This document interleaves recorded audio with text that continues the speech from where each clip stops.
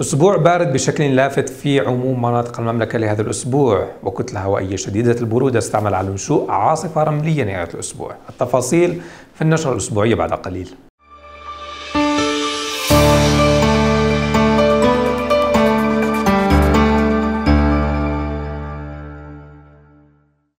أسعد الله أوقاتكم بكل خير متابعينا في المملكة العربية السعودية. نرحب بكم في هذه النشرة الجوية الأسبوعية من طقس العرب.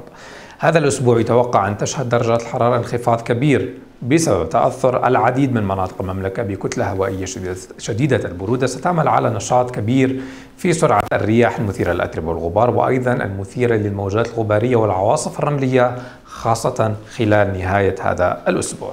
نبدأ نشرتنا بالتوقعات الجوية اليوم الأحد في عموم مناطق المملكة حيث تسود أجواء مستقرة لكن درجات الحرارة تكون أقل من معدلاتها مثل هذا الوقت من العام. في المنطقة الشمالية أجواء صافية كما ذكرنا وغبار خفيف في المنطقة الوسطى. يوم الاثنين المزيد من الانخفاض على درجات الحرارة في المنطقة الشمالية مع تعمق للكتلة الهوائية الباردة.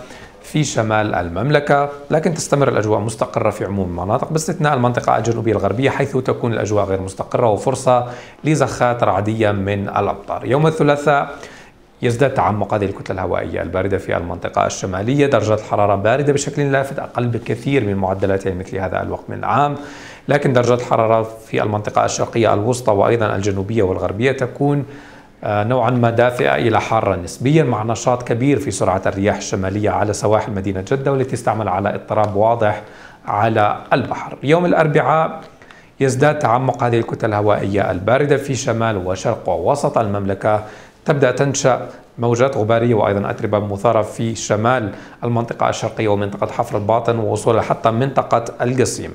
لكن يوم الخميس بإذن الله يتوقع أن تنشأ موجة غبارية وعاصفة رملية مع تحرك هذه الكتل الهوائية الباردة أكثر جنوبا مع نشاط كبير في سرعة الرياح الشمالية والشمالية الشرقية. وبالتالي هناك عاصفة رملية متوقعة أن تنشأ على أجزاء من المنطقة الشرقية جنوب منطقة الرياض عموم منطقة الربع الخالي وأيضا وصولا حتى عموم المنطقة الجنوبية الغربية. في عموم هذه المناطق يتوقع أن تكون الرؤية الأفقية متدنية وربما معدومة بشكل تام. يوم الجمعة بإذن الله يستقر الطقس تنخفض درجات الحرارة ويتحسن أو بتتحسن الرؤية الأفقية في المنطقة الشرقية والوسطى لكن تبقى الأجواء مغبرة في المنطقة الجنوبية وأيضا الجنوبية الغربية كبقايا للعاصفة الرملية التي تأثرت بها المملكة ليوم الأربعاء. إلى هنا تنتهي نشرتنا للقاء.